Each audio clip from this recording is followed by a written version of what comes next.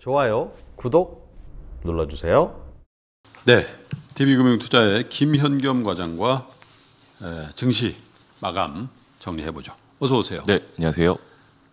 김현겸 과장 얼굴에도 일주일 동안 고생한 태가 좀 나는군요. 아, 정말 힘들었습니다. 힘드셨죠? 예, 이게 지난주부터 좀 그랬던 것 같아요, 그죠? 지난주 마지막 예. 예, 그래서 이번 주까지 그런데 모르겠습니다. 이제 다음 주도 이제 이 영업일이 있는데 추석이 비교적 긴 연휴라서 불안한 마음에 또 매매를 하시는 분들도 있고 미국이 또 워낙 변동성이 큰 구간에 들어가 있는 것 같으니까 예, 좀 정리를 해놓고 추석 끝나고 볼까 이런 생각을 많이 하실 것 같은데 자 오늘 시장 정리 좀 해보죠. 네, 일단 뭐 이번 주 되게 힘들었잖아요. 네. 코스피는 주간 단위로 약 5.54% 하락 을 했고요. 네. 코스닥은 약 9% 정도 하락을 했으니까 지수가 이 정도면 특히 코스닥 같은 경우는 종목은 거의 15에서 20% 이상 그렇죠. 하락한 종목들이 굉장히 예. 많았기 때문에 다들 이제 힘드셨을 것 같습니다. 일단 오늘 시장은 미국 시장의 반등에 따라서 아침엔 또 양호하게 시작을 했어요. 음. 코스피는 0.99% 거의 1% 상승으로 시작했고요. 네. 코스닥도 1.36%김 과장님 마스크 마이크를 조금 이격을 해줘도 될 것 같습니다. 예. 예. 코스닥은 1.36% 상승으로 이제 출발을 했는데요. 네. 장중에 오전장은 괜찮았어요. 괜찮았던 이유가 뭐 여러 가지가 있겠지만 네. 미국에서 민주당이 2.4억 이- 아 2.4조 달러에 네. 달하는 이제 부양안을 하원에서 이제 통과시킬 거다. 뭐 이런 이야기도 있었고 또 문우신 장관 역시 초당적으로 합의를 좀 해야 될 것 같다. 예. 네 그리고 이제 파월 의장은 어, 이거 더 늦어지면 어, 이제 개인들의 이제 주택 담보 대출의 예, 이런 원리금 상환이 힘들어지고 예. 뭐 이런 것들이 이제 큰 문제가 될 수 있다. 뭐 이런 이야기도 나오면서 음. 네. 급격하게 이제 다시 추경에 대한 아, 그런 합의를 서로 어, 보려고 하는 그런 음. 분위기가 좀 형성이 되는 것들 이런 부분들이 이제 오전장 좀 긍정적인 시장의 분위기로 연결이 됐는데요. 오후에 들어서면서 이제 던 개별 우리 시장 만의 이제 이슈죠. 말씀하신 대로 이제 추석이 앞, 앞두고 있고 물론 이제 에, 당일 날도 이제 뭐 매도 담보 대출이라고 해서 출, 출금이 가능하지만 실제적으로 이제 이 영업일 전에 매도를 해야 추석 전날 팔죠. 사- 그렇죠. 저, 출금 가능하죠. 네 그게 이제 어떻게 보면 오늘이잖아요. 예. 네, 뭐 그런 것도 이제 영향이 조금 있었던 것 같고요. 뭐 그러면서 이제 시장이 다시 쭈루룩 밀리면서 어 이제 좀 강보합선에서 살짝 소폭 상승으로 이제 마감을 했는데요. 네. 코스피는 2278.79포인트 0.27%, 코스닥은 808.28포인트 0.16% 상승으로 예. 어, 마감을 했지만 뭔가 좀 아쉬운 예. 아, 그런 모습이었고요. 아, 지금 시장이 최근에 계속해서 전강 후약의 모습이 나타나고 있어요. 네. 코스피, 코스닥 시장, 양시장 마찬가지고요. 예. 지금 오늘까지 8거래일 연속 음봉이 나오고 있습니다. 그러니까 어제 특별히 그랬죠. 오늘 네. 쭉 빠져버리는. 예. 그러니까 음봉이 났다는 얘기는 이제 아침 시초보다 그러니까 종가가 더 낮을 때 음봉이 나오잖아요. 그렇죠. 그렇기 때문에 이제 8거래일 연속 어, 뒷심이 이제 부족하다. 뒷심이 부족하다는 거는 시장이 이제 불안하다. 예. 어, 이런 것들을 의미하기 때문에 에, 최근 8일이 굉장히 우리가 힘들었다. 음. 이렇게 볼 수 있을 것 같고요. 이 추석 연휴를 앞 두고 1 거래 대금이 코스피에서 많이 줄었습니다. 예. 네, 예, 2개월 반 만에 예. 코스피 시장 거래 대금이 10조 원 아래로 내려왔어요. 예. 그만큼 이제 관망 모드로 이제 많이 이 투자자들이 대응을 좀 한 것 같고요. 장 끝나고는 이제 드디어 셀트리온 그룹이 아 이제 합병을 공식 공시를 하면서 삼사 합병인가요?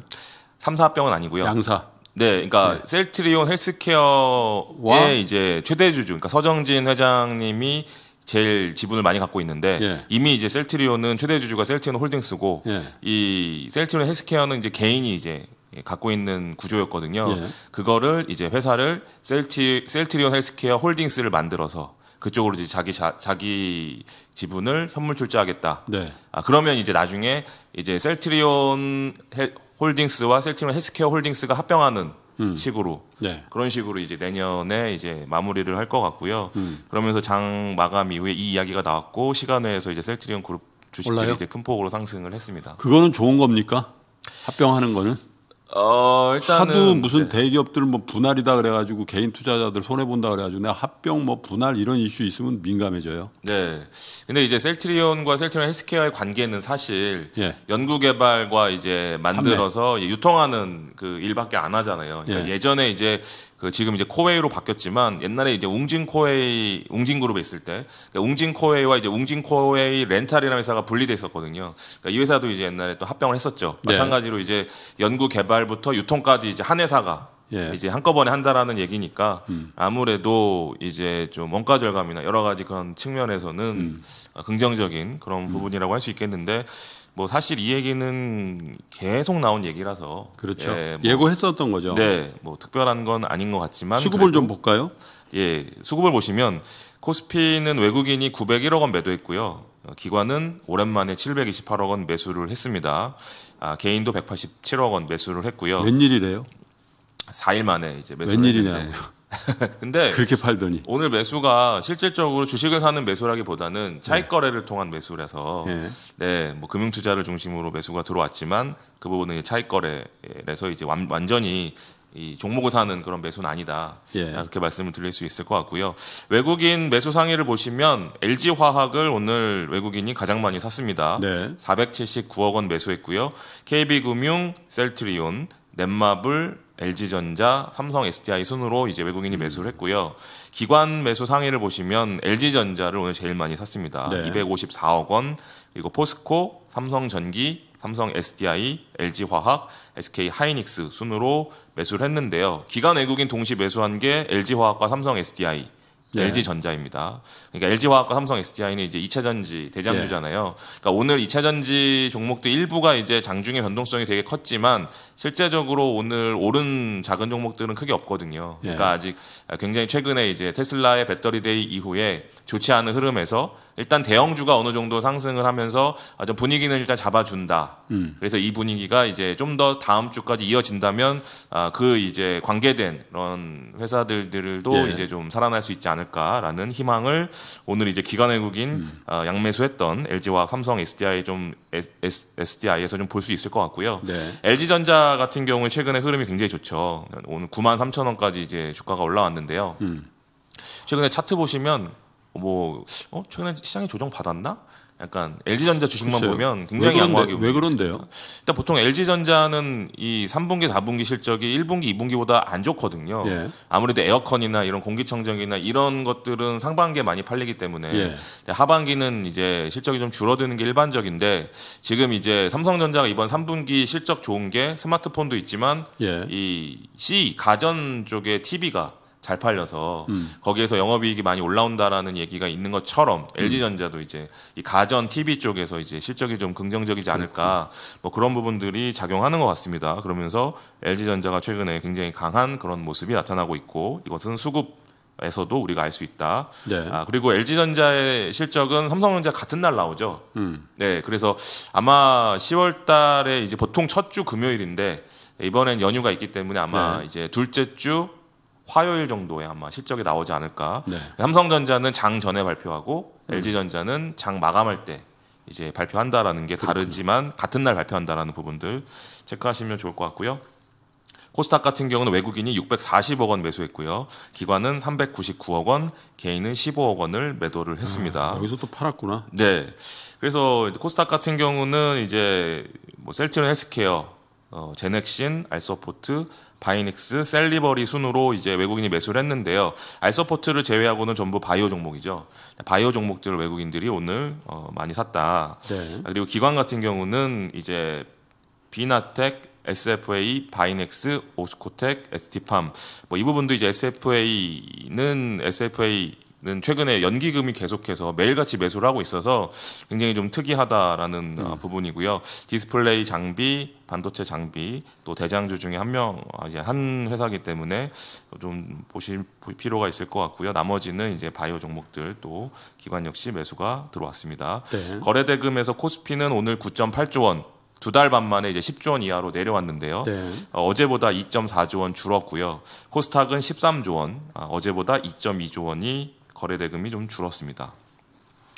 이제, 이제 최근에 이제 대여급 IPO들이 굉장히 많이 나오고 있고 그렇죠. 이제 다 다다음 주 월요일 10월 5일 6일 이제 추석 연휴 끝나자마자 바로 빅히트 엔터테인먼트의 IPO가 있잖아요. 수요일치까지 다 끝났죠. 네 맞습니다. 근데 이제 또 이제 올해는 아니지만 내년에도 대어급 나오는 게 최근 이번 주에 발표한 게 카카오뱅크 네. 내년에 이제 하반기에 이제 상장할 걸로 예- 예상이 되고 있고 또 하나의 대어급이 게임주에 있습니다. 크래프 크래프톤이라는 네. 아, 이 종목이 이제 내년에 본격적으로 음. 이제 상- 이 주관사를 선정한다라고 어, 이야기를 했기 때문에 네. 내년에 이, 이 종목 역시 내년 하반기 아마 아, 카카오뱅크와 더불어서 이제 대어급 어, 상장이 될 것 같은데요. 이 대어급이라는 게 올해 대어급보다 훨씬 큰 거예요. 지금 그래요? 크래프톤 예상 현재 기준이지만 예상이 시가총액 30조 게임, 원. 게임 회사잖아요. 네. 배틀그라운드라는 아, 네, 배틀그라운드. 네, 배틀그라운드라는 그 게임을 하는 회사고요. 작년 기준으로 영업이익이 4,400억이 났어요. 어. 네, 엄청나게 많이 났죠. 그래서 지금 현재 이제 몸값이 30조 원을 오르내리고 있는데 음. 이게 유지가 된다면 내년에 30조 원짜리가 이제 상장하는 거니까 엄청나게 큰 거잖아요. 카카오뱅크도 지금 뭐 시총 30조, 40조 왔다 갔다 하고 있는데 이건 역시 이제 뭐 카카오뱅크는 좀 더 올라갈 가능성이 있다라고 하면 30조 이상짜리가 또 상장하는 거니까 아니 4천억 영업이익인데 30조면은 지금 상장도 하기 전에 PER이 지금 몇 배입니까? 아 그건 이제 작년 기준이고요. 아, 작년 네, 기준? 올해 영업이익은 더 커 더클 훨씬 거로 커요? 예, 더 네. 클 거라고 예상을 하고 있습니다. 아 그래서 이제 지금 NC 소프트 대장인 NC 소프트보다 영업이익이 더 나올 거다. 그래요? 올해 예. 예, 그 물론 이제 이 게임 배틀그라운드 하나에서만 나오기 때문에 뭐 그런 리스크는 있지만 어쨌든 그만큼 배틀그라 배틀그라운드는 이제 지금도 현재도 굉장히 이제 뭐 PC방에서 가장 인기 있는 게임 중에 하나이기 때문에 음. 그런 부분들이 이제 내년을 기대하는 부분인데요. 여기야 이제 지분을 가지고 있는 이제 넵튠 그리고 아주IB투자가 온- 어, 어제 오늘 크게 상승을 했고요. 네. 그리고 이제 노바백스가 임상 3상에 이제 들어간다라는 소식 때문에 SK 케미칼, SK 디스커버리, 켐온이라는 종목이 이제 또 오늘 9%, 7% 이렇게 되면 5% 삼상. 참여가 다섯 번째가 되죠. 이렇게 네, 맞습니다. 최근에 이제 존슨앤드 존슨도 이제 3상에 들어갔고요. 그렇죠. 네, 뭐 모더나. 네. 뭐 모더나 같은 네, 데 모더나도 있고 뭐 화이자도 있고 아스트로제네카. 네, 아스트로제네카는 뭐 말이 많았지만 어쨌든 하고 있고요. 뭐 중국의 시노백이라는 회사도 지금 네. 뭐 하고 있, 있어서 삼상에 들어간 회사들이 계속 늘어나고 있다라는 음. 측면. 그래서 이제 성공 가능성이 이제 아무래도 삼상에 들어갔다라고 하면 네. 커질 거기 때문에 뭐 시노백은 내년 뭐 1분기에 이제 양산을 대량으로 할 거다라는 음. 그런 이야기를 하고 있더라고요. 어, 중국이라서 우리가 아직은 믿지 못하고 있지만 네, 실제적으로 지금 임상은 브라질과 인도네시아에서 이제 하고 있거든요. 네. 그래서 이제 남미 쪽이나 이런 쪽으로 또 수출을 하지 않을까. 음. 그래서 이제 백신이 이제 다가왔다. 눈앞에 이제 올해 말이나 내년 초로 다가오는 건 분명한 사실인 것 같다. 예. 라는 부분 체크하실 필요가 있을 것 같고요. 또 코로나 장기화에 따른 가구, 인테리어, 가전, 렌탈 아, 이쪽 홈 어, 홈코노미 시장이 커진다 라는 이야기가 오늘 좀 부각이 되면서 한샘, 현대리바트, 롯데 하이마트, 파세코 같은 종목들이 네. 오늘도 큰 폭으로 상승을 했고요.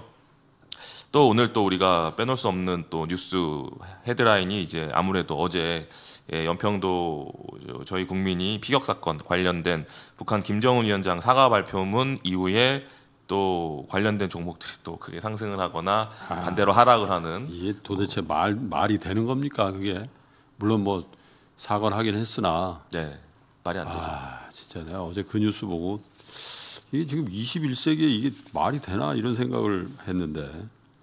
예. 네, 뭐 주식 시장 입장에서 냉정하게 봤을 때 어제는 이제 빅텍이나 이런 종목들이 올랐다면 오늘은 반대의 관점에서 이제 주식들이 좀 크게 움직였다라는 부분들 그리고 삼성전자가 이번 주에 갤럭시 20 FE 모델을 이제 발표를 했죠 언팩을 예. 했는데 시장에서 굉장히 호평을 받고 있습니다.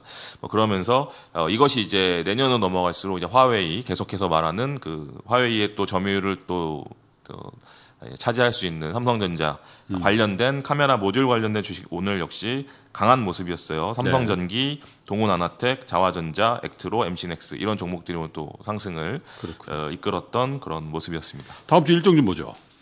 뭐 다음 주는 사실 월 화밖에 없잖아요. 네. 네, 월요일 날은 이제 50 50만 주 미만의 우선주가 이제 단일가 매매가 시행이 됩니다. 아 이거 왜 품절주 해가지고 네. 계속 오르는 그거 방지하려고 맞습니다. 한 거죠 거래소에서. 네. 그래서 이제 단일가 매매가 다음 주 월요일부터 시작된다라는 부분들 그리고 두산 인프로코어 매각 예비 입찰이 월요일 날 있습니다. 그리고 화요일 날은 미국 대선 후보 TV 1차 토론회가 있습니다. 네. 네, 이 부분도 이제 시장에 분명히 영향을 주는 뉴스겠죠. 네, 네, 그리고 또 중요한 뉴스가 있습니다. 미국의 마이크론 테크놀로지의 실적 발표 그래요. 어, 날- 날입니다. 우리 삼성전자와 이제 SK 하이닉스의 굉장히 중요한 또 네. 이슈가 될 수 있는 이 부분들 체크하시면서 다음 주 시장 대비하실 필요가 있을 것 같습니다. 알겠습니다. 월화지만 일주일이니까 네. 사실 월화에 우리 투자자분들의 복잡한 생각들이 다 투영이 될 것 같아요. 네, 물론 이제 에, 오늘 일부 이제 추석 자금은 대부분 현금화 하실 분들 하셨겠습니다만 어쨌든 와 수목금을 이걸 어떻게 하지? 근데 여러분 주식 투자 2박 3일, 3박 4일 하는 건 아니니까 네. 어쨌든 잘 저 주말에 쉬시고 에, 에, 현명하게 좀 대처하셨으면 좋겠습니다. 김영희 원장도 좀 쉬세요. 네. 얼굴 많이 피곤해 보이시네요. 예. 저도 그렇지만. 네, 자 일주일 동안. 고생하셨습니다. 다음 주에 뵙겠습니다. 예, 주말 잘 보내십시오. 고맙습니다. 네. 네.